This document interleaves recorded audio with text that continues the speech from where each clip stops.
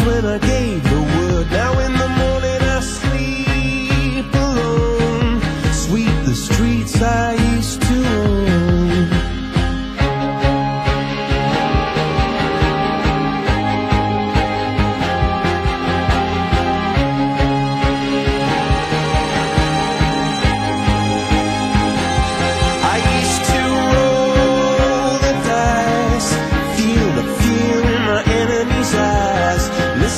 Hey guys, just something uh, real important, real quick before I eat my uh, my delicious chimichanga dinner.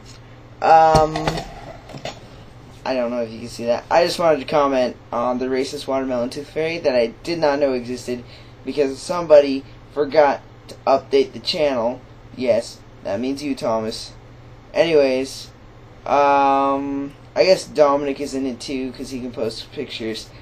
And I'm going to challenge you. I want to see a racist watermelon tooth fairy. Draw one. And I'll believe in them. Until then, I have nothing else better to say.